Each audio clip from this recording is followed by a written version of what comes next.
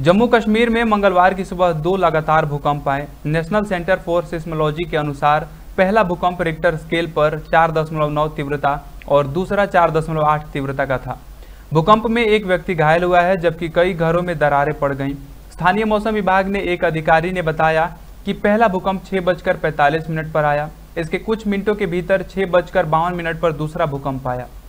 दोनों का केंद्र बारामूला था। पहला भूकंप ज़मीन से पाँच और दूसरा दस किलोमीटर नीचे आया। इससे पहले 12 जुलाई को दोपहर करीब 12 बजे बारामूला में भूकंप आया था। रिक्टर स्केल पर भूकंप की तीव्रता 4.1 मापी गई थी। ब्यूरो ऑफ़ इंडियन स्टैंडर्ड की भूकंपीय जोनिंग मैप में कश्मीर घाटी सबसे खतरनाक जोन पाँच में आता है।